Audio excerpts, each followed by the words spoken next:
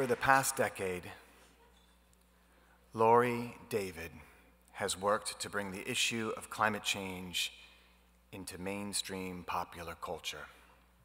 She produced the 2006 Academy Award winning An Inconvenient Truth, a documentary film based on former Vice President Al Gore's 30 years of research on global warming. She was also the executive producer of the documentary Too Hot Not to Handle on the effects of climate change in the United States. In the spring of 2007, Laurie launched the Stop Global Warming College Tour with Sheryl Crow. Laurie has spearheaded numerous public education and action campaigns urging Congress and automakers to raise fuel efficiency standards and make higher mileage cars. Most recently, she's turned her attention from the environment to our children's emotional and physical health. Every issue we care about, Laurie says, crosses the dinner plate. Her newest book, The Family Dinner Great Ways to Connect with Your Kids One Meal at a Time, is an inspiring and practical guide to the most important hour in a family's day dinner time. Please help me give a huge Connecting for Change welcome to Laurie David.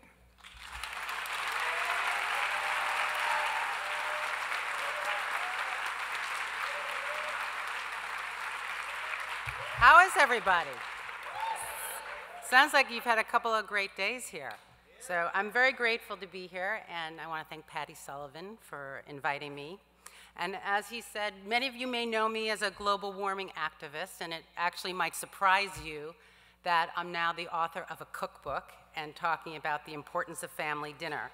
And at first glance, I, I think I thought that was an odd transition too. But uh, there are other things headed for extinction besides the glaciers, and family togetherness is one of them.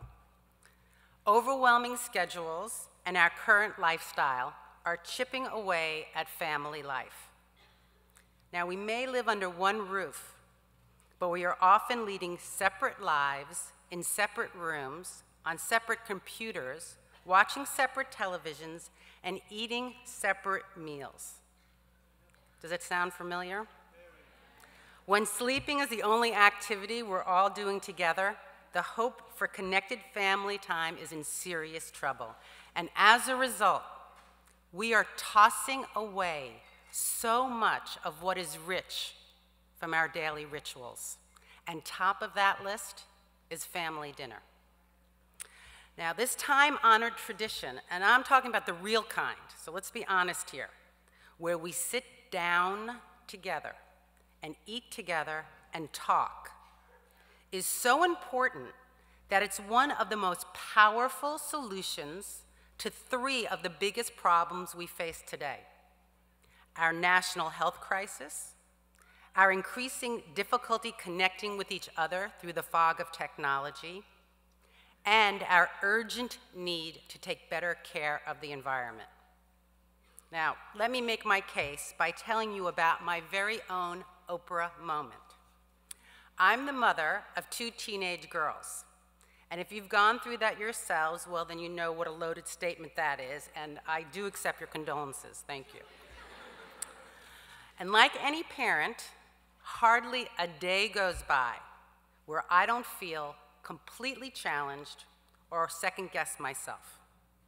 And this made it all the more exciting the night I had my gigantic epiphany and realized I had done something right as a parent.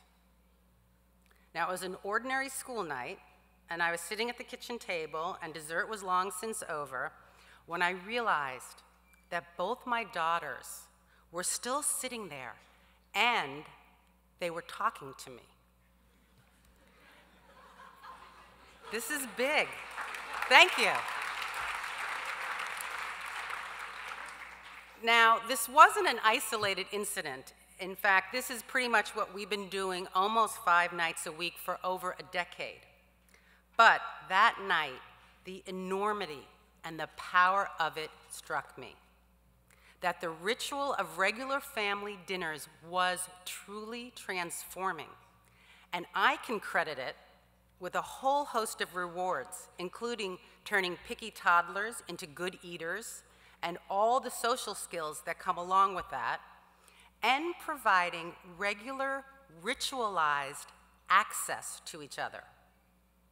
I can also credit the dinner table with helping us through a family crisis, and in my case, divorce, and even accomplishing the Herculean task, get this, of getting my ex back to the table with us. And if you want to read more about that, get my book. So, looking back now, as a more seasoned mom, I can confidently say that dinner has turned out to be the healthiest and most important activity my family did, bar none. Now, thank you. That's what I've learned from my own experience, but the scientific research on this topic is equally compelling. Dozens of universities have studied this, including Columbia and Harvard and Emory, and they've all reached the same conclusions. Basically, everything a parent worries about can be improved by the simple act of regularly sitting down and sharing a meal. I mean, just name your parental anxiety. Are you worried about drugs, alcohol, teen pregnancy, eating disorders, depression? According to the research, regular family meals lower all those risks. Are you concerned about your child's self esteem or confidence or school grades? A 20 year survey of merit scholars had one thing in common without exception they all came from families who ate together three or more nights a week. I mean, that's amazing. And if someone had told me back then that my Taco Tuesday ritual might mold a future merit scholar, I would have laughed. But it's true. Children who have regular meals with their parents do better in every aspect of life. Why? Because the dinner table provides the most effective place to share values, debate opinions, build vocabulary, learn manners, develop your palate, eat healthy home cooked food, and pass on family history, one meal at a time, meal after meal after meal. Now, the family history piece is really interesting, I think. The professors at Emory spent years studying this, and they concluded that the dinner table is the number one place that family stories are passed on to the next generation. And it's the knowledge of where grandma and grandpa came from and what they went through that builds resilience in kids. And guess what? When we stop sitting down to dinner, we stop passing on those stories. So, why, as a society, are we letting this incredible tool for raising children slip through the cracks? Why are we shortchanging our families and ourselves by eating so many meals on the run, in the car, standing next to the counter, or in front of the television? I mean, an average meal today lasts about 18 minutes. I mean, talk about a low priority. Dinner's treated like a pit stop to pack in the protein. I mean, you know, we treat our cars a little better than that. In some ways, progress has set us back. And as we race forward and leave family dinner behind, we've had an explosion of health problems that were all but unheard of a few generations ago. That's not a coincidence. Today, diet related illnesses are America's number one killer. Obesity is growing faster than any other preventable public health condition in the country's history. One in three American children are now considered overweight or obese. And of course, obesity triggers cancer, heart disease, and diabetes. And the stats on this are, are also frightening. The CDC recently reported that by mid century, the number of people dealing with diabetes could also be one in three. I mean, that's a huge percentage of our population with a serious chronic and expensive disease. And closely linked to the threat of obesity, and a little closer to home for me, and maybe some of you, is the huge and growing threat of digital overload. Okay, that's a fancy name for that sick feeling you have when you see your kid's face buried in a screen. A recent Kaiser Family Foundation study showed that children between 8 and 18 are plugged into some kind of screen for an average of eight hours a day. And that doesn't include texting, which I, I mean, I can't even imagine what that stat would be. I think it's of particular note that in today, the, the front page of today's New York Times is about a school that is not allowing computers in the classroom. Okay, this is, but it's such a novelty, it's such a novelty that it's a front page article. So, to put it another way, kids are spending half their waking hours staring at TVs, computers, phones, and MP3 players. And with numbers like that, it's not surprising that two thirds of the kids in the study say their family turns the TV on during meals. Now, TV is a thief that robs everyone of a critical time to share daily triumphs and challenges and family stories. But it's not only antisocial, it's fattening too. It's estimated that kids unconsciously scarf down hundreds of extra calories when they're mesmerized by the television. And TV pummels kids with ads promoting junk food. One study calculated that kids see almost 8,000 ads a year, 70% of which are for things you would never want your kids eating. Another modern trend that's adding to our challenges is that more than half of our meals are now purchased outside of the home. This is an enormous lifestyle change with huge consequences. Because here's the truth when you don't cook it yourself, you do not know what's in it. I mean, it's really true. You don't. What you can count on, though, is that it's higher in salt and fat and sugar. Okay, that you can count on. Fast food today makes up one third of everything we eat. A new study reports that kids are consuming over 200% more salt than the daily recommended serving. I mean, I'm pretty sure you're not doing that in your kitchen when you're making dinner. 10% of our kids' calories are coming from soda, and of course, we're eating way too much meat. A staple that used to be enjoyed a few times a week is now consumed sometimes three times a day. And it's not our grandparents' chicken either. The meat we're eating is full of antibiotics, hormones, and chemicals. And the vast majority of it comes directly to us from filthy factory farms where animals are force fed food and medicines that are unnatural to their systems so that they can grow bigger faster to keep up with the growing demand. This is completely unsustainable for our health and for the health of the planet. Our love of pre perceived, thank you. Our love of perceived convenience is also a big part of the problem. The microwave, we all have them, right, is great for reheating.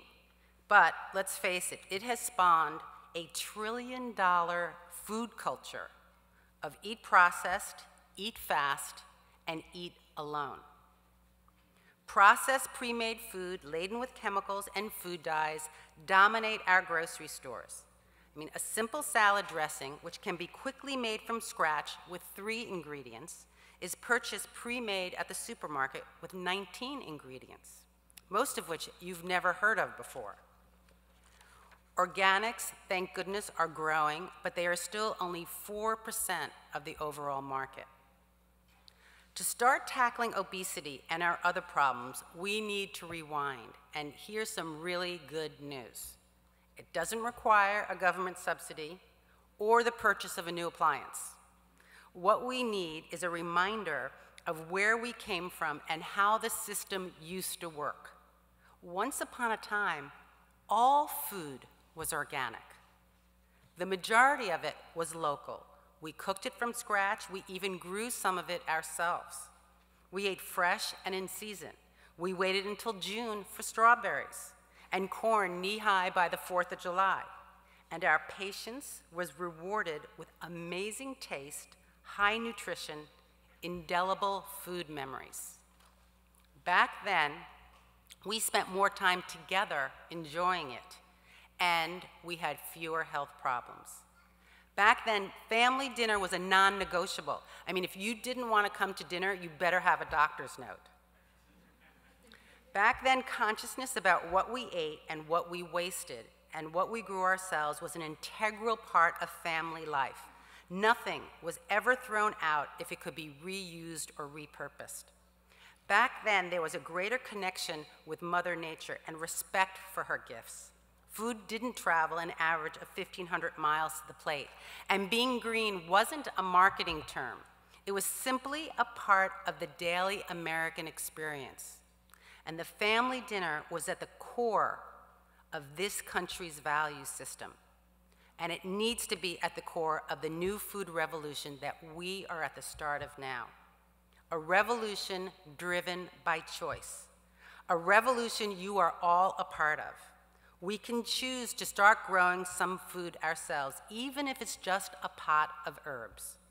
We can choose to eat consciously in season. We can choose to cook food again ourselves so that we decide how much salt and chemicals we put into our body.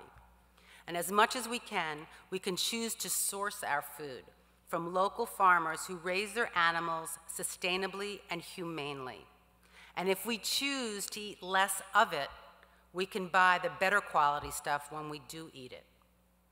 And we need to choose to sit down without screens, with whomever our loved ones are, and share in the sacredness of the moment and talk. This is how we set the table for a sustainable future. This is how we lead healthier lives with stronger family bonds, combat obesity and diabetes, and lower our carbon footprint. So whether your family includes kids or friends or coworkers, whether the meal is just soup and a salad or three courses and a homemade apple pie, this ritual will also help to make sure that life doesn't get away from you. Your family will improve, your family life will improve immeasurably because you'll know how much more everyone is feeling, what everyone is eating, and what everyone is thinking.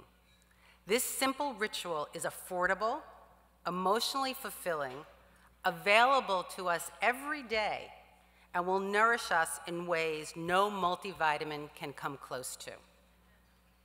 So let me close with a quote from a writer, Francine du Plessix Gray, who once said, Dinner rituals have nothing to do with class or working women's busy lives or any particular family structure. I've had dinners of boiled potatoes with families in Siberia, suppers of deli cold cuts with single welfare mothers in Chicago, all made memorable by the grace with which they were offered and by the sight of youngsters learning through experience the art of human companionship. Simply put, dinner makes a difference. Thank you so much. Thank you.